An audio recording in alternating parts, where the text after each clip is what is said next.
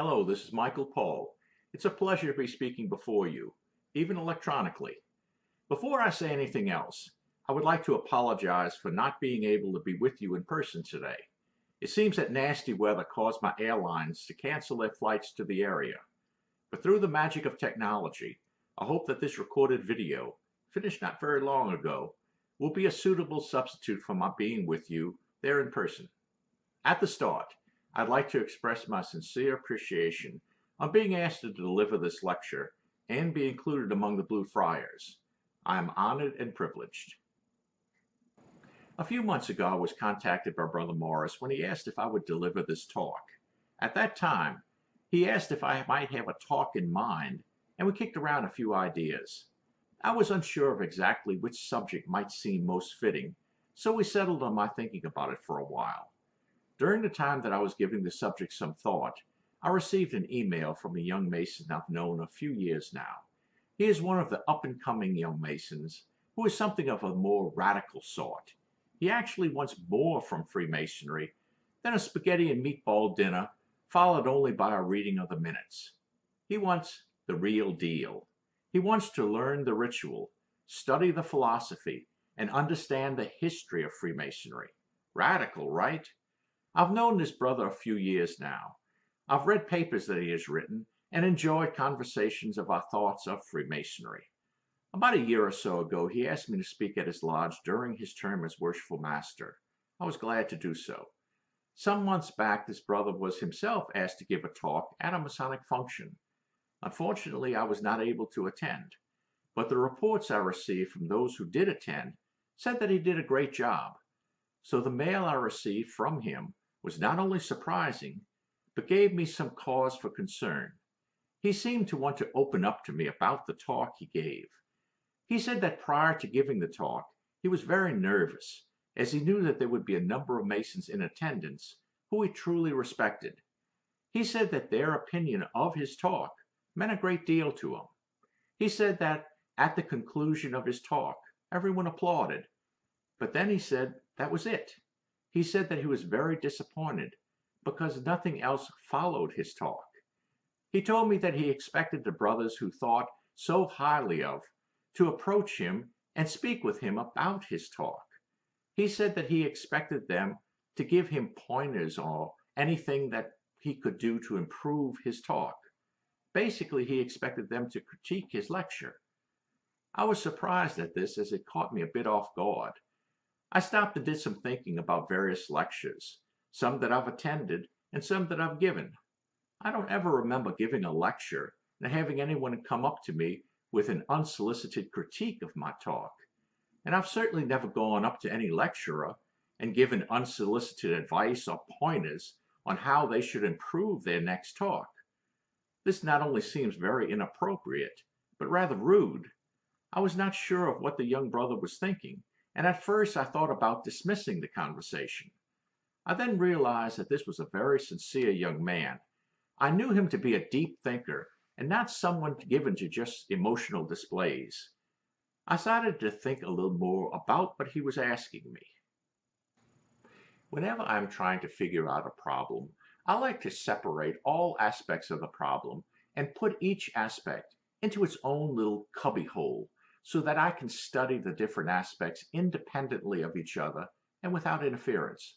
In looking at this particular problem, I thought about one aspect right away. This brother is creative. He's a writer. I'm not going to make blanket statements and state that all writers or creative types are identical, but I will say that in my experience, most creative people have an insecurity deep within them.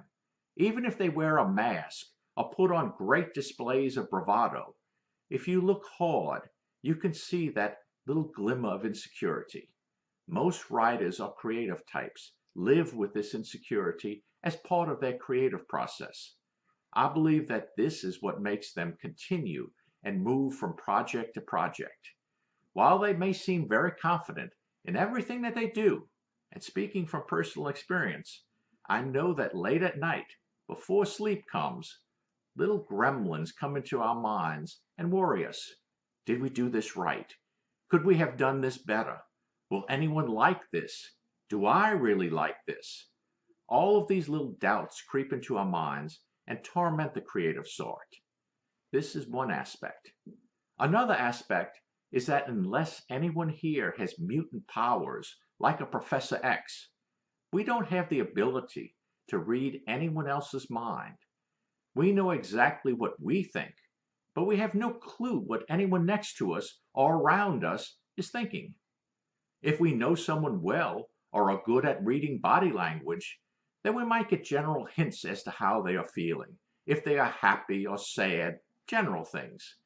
But we cannot get into another's mind and know exactly what they are thinking about anything. That's the second aspect. And then there's the third aspect. How was what we are doing being received? What do they like? Do they like what we are doing? Do they care? This is a tricky one. Let me give you an example.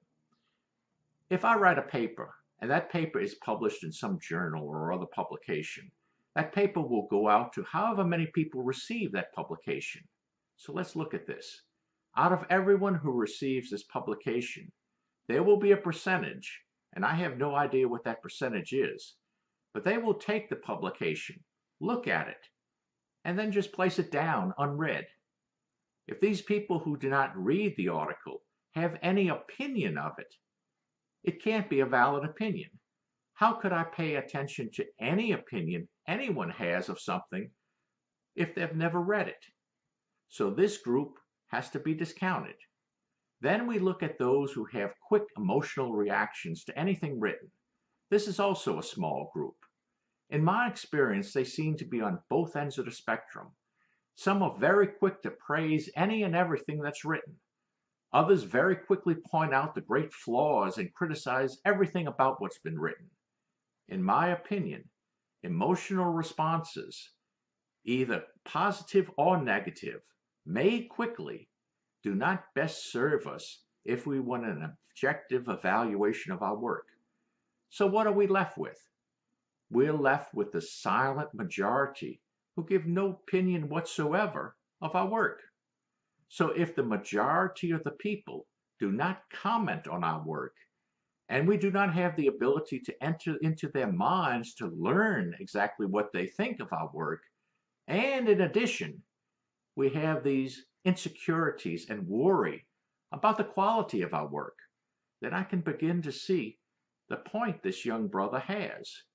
He is worried that he is either wasting his time because no one is interested in what he's doing, or that he lacks sufficient ability to properly do the work. His position and concerns are not at all unreasonable.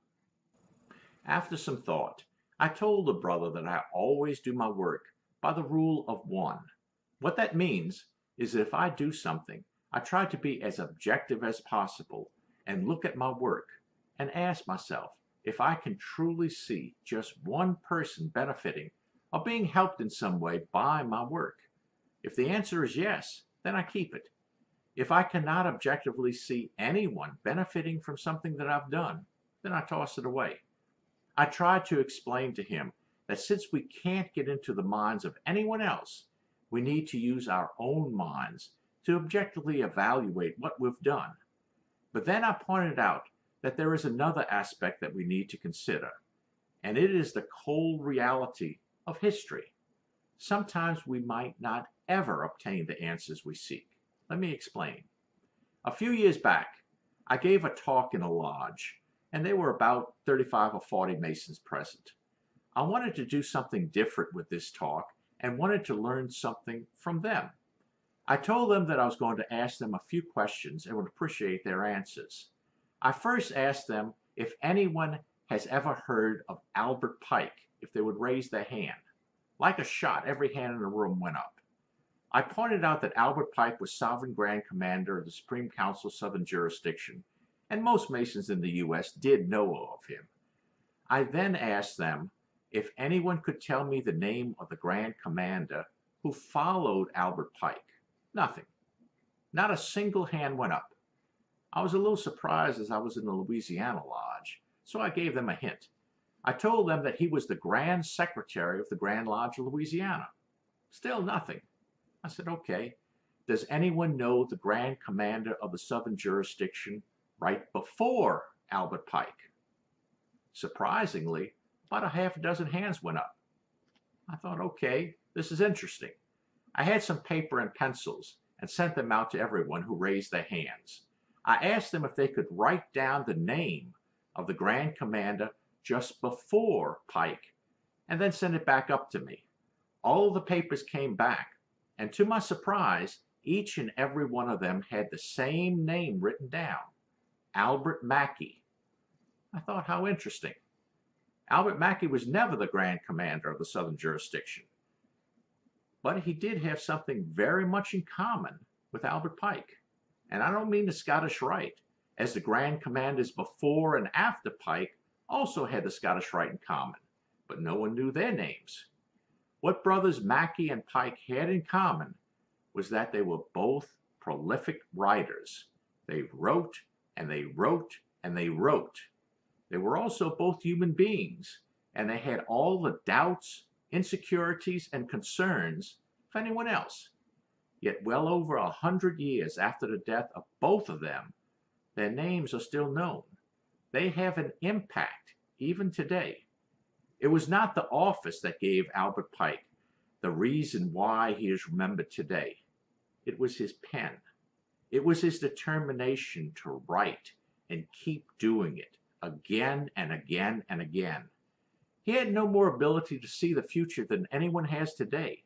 He did not know that he would be remembered after all the years after his death. He did it because he knew that it was the right thing to do. He wrote because he was a writer. The pen is mightier than the sword. It's true.